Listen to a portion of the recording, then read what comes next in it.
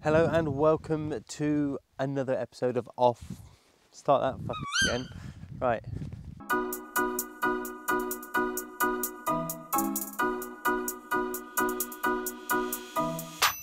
Hello and welcome to another episode of Off the Beaten Pot. My name is Tom and this is the Gerber Compleat. And I think I'm a little bit in love with it and I want to show you why. So not only is it a spatula, it's also a knife, it's also a spoon and a fork. It's also a packet opener if you're that way inclined. It's a bottle opener, a tin opener and a vegetable peeler and it all slots together beautifully in a low profile, lightweight system. But the most impressive thing, maybe not the most impressive thing, but something I'm certainly very excited about, is the fact that it's also a set of tongs. How cool is that? A lot of the times for the cooking bit, certainly in the pots, the one pot wonders, I'm just using either my spoon or this forky spork thing. If I'm taking fresh veg, things with thin skin certainly, this amazing peeler, it's very much, I think it's designed with a bit of safety in mind. It could be a bit more aggressive, but taking a file to one edge or both edges to change the, uh, the angle of cut would, would do uh, wonders there. But I found it's been fine for things like potatoes and carrot skins. I probably wouldn't put a button butternut squash through it.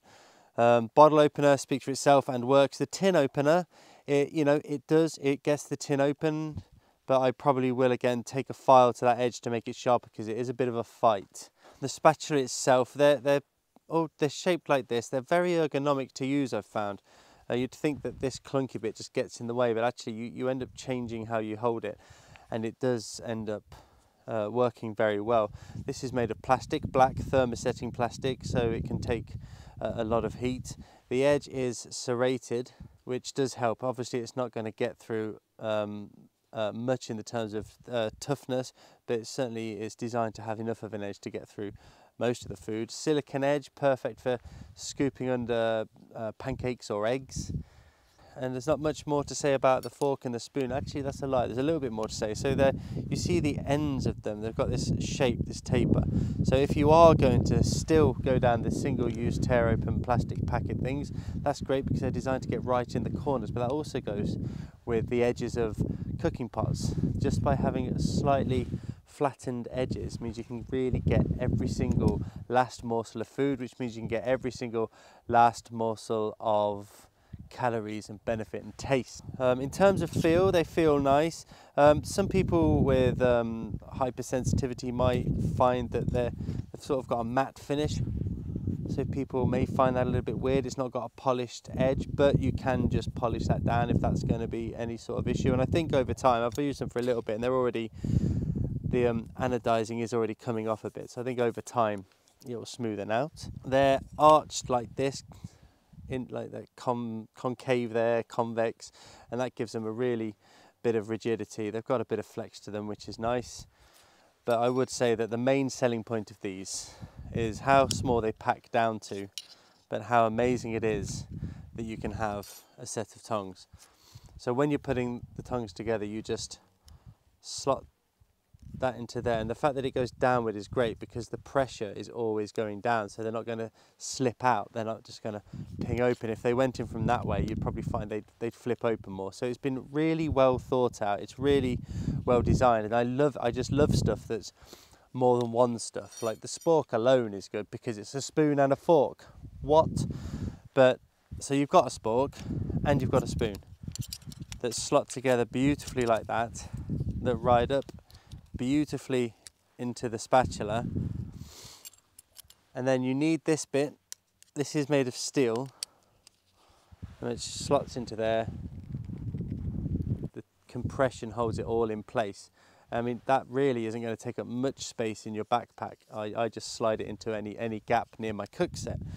Um, uh, looking at any potential downsides, I would say that if you're traveling super light, you only need a spoon. This is all superfluous, but the benefit is you just take the spoon, the rest can stay at home. If you want to get a bit more adventurous with your cuisine, I hope you do, I assume you do, because you're watching my channel from time to time. I imagine that you're thinking, what can I do to improve my cooking experience outdoors? And one of those things I would say is having the right utensils. Uh, most of what I've done, I've done with a knife and a spoon in the past.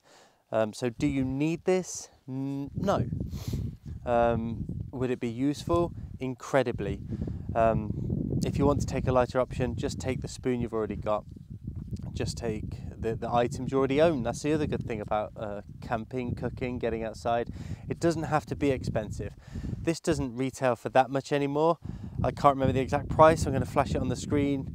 That's in US dollars at the time of this video. No, it's not. It's in Great British Pounds. Heck, have both. US dollars, Great British Pounds. Dad, name a currency. From what country is that? and the dinar just there. That's how much this is retailing for as of August 2021. Um, of, of, course, there's a link below if you'd like to not even faff and looking. I've tried to find a relatively inexpensive link from a decent seller. It is an affiliate link from Amazon, so if you do fancy picking this up, it costs you nothing, but I will get a little kickback, uh, which helps me uh, support the channel and uh, buy things like this to review so uh, you don't have to. And uh, I try and keep all well, all my reviews are independent. I buy these with my own money. No one's telling me to what to say. That said, let's move on to some of the negatives. I personally don't think it weighs that much. It weighs this much. But if you're really counting the grams, it's quite a lot. But if you're really counting the grams, you're probably not going to need something like this. You probably, even if you can take, for example, uh, the dal I cooked yesterday has a dry weight of just shy of 100 grams and it packs this many calories. And that is uh, just cooked with a spoon. You'll be fine with just a spoon. But um, so weight could potentially be an issue for you. The other things is if you want to take it all or not, not all of it, you need to take all of it to take some of it, if that makes sense. If you don't take this, that's going to rattle itself apart. If you don't want to take the spork, there's not quite enough compression to keep that comfortably together and it will rattle. So you need the whole set together to be able to uh, keep it packed away. You can of course get around this by using um, ranger bands, elastic bands, clips, whatever you like. There's always a way of getting around it. Um, but they would be uh, a couple of strong negatives but not enough for me to not want to use it and bring it out on this trip. I mean, I'm definitely going to be taking this out again and again and again because what I've found is this allows me to be to do more more confidently. So if I want to, I've made drop scones or scones. I've never said scones before. I've made drop scones, uh, pancakes when I went foraging with stew. Video here, and this came in really handy for turning our fried mushrooms that we made, and also really handy for flipping the pancakes that we made. So that then that was just great. It means that I can spend less time faffing and more time cooking. So that that's really good. Anyways, that about wraps it up. This is the Gerber Compleat. C-O-M-P-L-E-A-T. Complete. I do like a good pun. Um, however, puns aside, it is really awesome. Worth picking up if you think that this is for you. If you're just going to be munching on rehydrated food or very simple cooking, then you just need the spoon. And like I say, if you can't, you don't need a lot of expensive stuff to get out and get backpacking. You don't need it. Um, you can buy, you know, we all aspire to have certain gear, certain tents, certain everything. Um, if you've got a spoon at home, take a spoon. Um, top tip, wooden spoons. They cost next to nothing. You might already own one and actually they're quite lightweight and you can do a lot with a wooden spoon. You can get smaller ones, you can cook with them, you can eat with them, they clean well and they're generally versatile or just whatever you've got knocking around. So this is the Gerber Compleat Cook Set. I'm Tom, this is Off the Beaten Pot. Cheers and gone. Enchanté.